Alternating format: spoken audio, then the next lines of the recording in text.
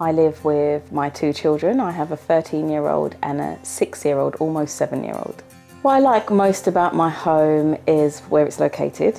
When I was in my first property, I got that when I was young, and um, that was when I was young and single.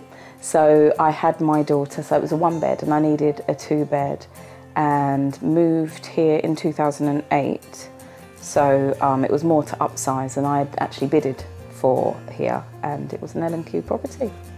I have um, set up my own non-for-profit organisation, which is a community interest company called Young Mums Support Network. I, I run that every day.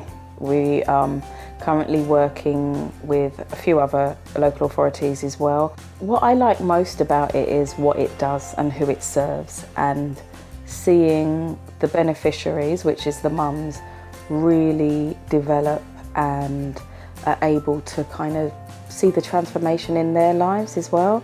I think, um, you know, I'm a single mum and single mums kind of society has given us a not so nice label or a stigma that comes with that. Um, and I'm very passionate about challenging society's stigma and being able to represent a community that doesn't necessarily get their voice heard really makes me feel good, especially when I see them achieving.